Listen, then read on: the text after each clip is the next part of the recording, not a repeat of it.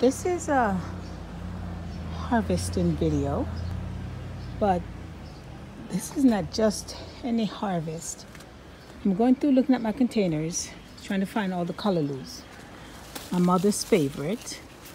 And like these, we're not gonna let them get big. They get tall and big, but we have so much of them that right now I'm just going through and taking the ones out of the containers.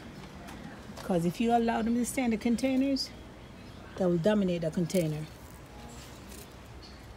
So I'm going around and cut all this callaloo or amaranth. These are green. So I'm just, and they grow anywhere.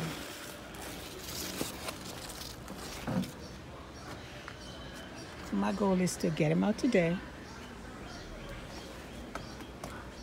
and free some space up in the containers for the other things in those containers to grow.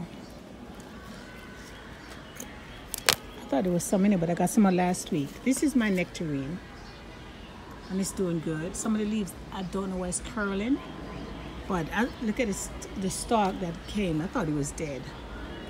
So I was surprised when it started shooting up. Anyway, bottom of this, I didn't know, I didn't think it was gonna survive, tell you the truth. It was so brown. So I planted a lot of stuff in this container because it was such a big container. I didn't plant the callaloo. They come up on their own every year. What I did was planted, if you can see I have carrots in here. I planted those carrots because I was so sure that the container and the carrots I was so sure that the container was, the, I was so sure that the nectarine was dead. Oops. I'm trying to cut the nectarine, I mean the nectarine, I'm trying to cut the callaloo at uh, the stem, close to the soil, so it won't grow back. And at the same time, I don't want to harm anything that's in there with it. So anyway, what I was saying was, I planted the callaloo, I mean the, gosh, I planted the carrots in here because I thought the nectarine was going to die. My stuff for the squirrels. So imagine my surprise. I also planted um, the mâche or the corn salad. So I bought three of them in here because I didn't expect, I keep saying the same thing. I didn't expect the nectarine to make it. So I planted all this stuff in here. So now everything is coming up. So I'm just trying to help nectarine to make it. Give it all the space is supposed to have and at the same time harvesting everything out of it. Like I said, I'm cutting this close to the soil because if you snip it at the top, it will grow back. It will just grow out to the side.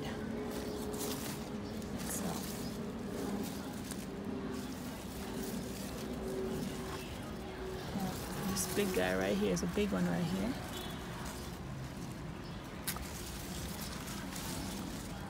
There's everything in this container. There's another one in there, but it's small, so I'll just wait until it comes up. And there's a weed over here too. These things grow everywhere. So, let me keep on moving. And look here. My first big zucchini for the season. I think I'm gonna go inside and look for some neem oil and spray the stem because I normally I get a nice harvest every year and then they just die because you know the squash the what do you call it the squash bug or what do you call it the vine borer? Yeah it kills it every year. Just small ones. So I'm gonna when I go inside I'm gonna check it out and see if I have any neem oil or can I get some in a couple days? And see if I can try proactive this year and save. Try to be proactive and save my squash for a little bit longer. These big guys right here. Let them stay here too long they take over. These guys are big. So I'm cut them at the bottom because I cut them halfway they will come back.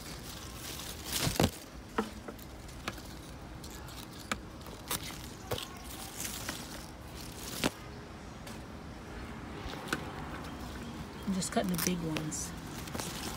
And give the small ones a chance to come up. And then since like I said they come up on their oops they come up on their own every year.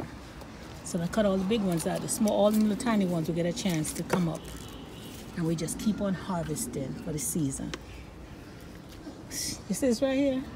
By Friday, by Friday, this is huge. But I'm gonna go ahead and leave it. She can freeze some. Okay, so I have more in the back, but I'm not gonna have you go with me all the way. So I'll show you what I get. I'm trying to see, is that callaloo or is that pepper? I'm trying to, um, yeah, look at this nice fat one. It's with that garlic, and my garlic's another video because I think I need to dig these things up. Um, maybe I'll leave this there and make it get bigger. And I can just pick off the branches on the sides. Yeah, since the garlic is gonna come out anyway, I'm gonna let them keep that container. Get this right here. This is peppers. With so much callaloo there, you can find this little pepper. He's not even making it. He has nowhere to go. So I'm gonna cut, just cut a few out. Well, actually, you know what? It's not a lot in there to cut it because they're still smaller. So I'm gonna give these, unfortunately, I'm gonna give them another day, I mean, a couple more days or so. And then I'll cut them out. And um, I know it's gonna, it's not helping the pepper at all. But I'm gonna have to find, which I didn't cut any, I missed. I'm gonna have to find somewhere to put the pepper because there's a lot of pepper. But when I planted them, they were so scrawny. You know, you didn't expect them to do too good or too much.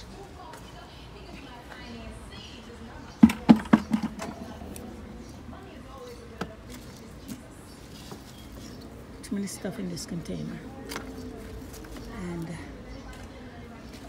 I um, can hear the, the movie my neighbor is playing right there. So more likely gonna take some of the sound over this so you don't pick up that movie.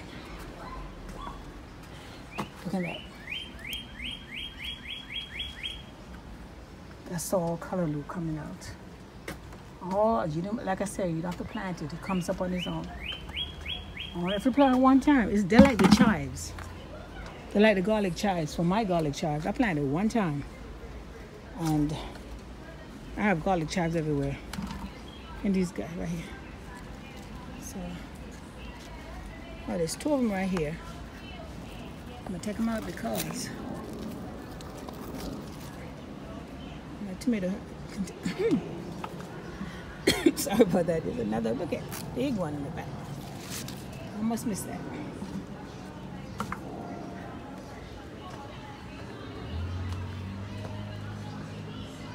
Yeah, so I'm gonna finish harvesting and I think I'm gonna do some beans also while I'm doing it. Look here. And then I'm gonna, I'll come back afterwards. Be right back.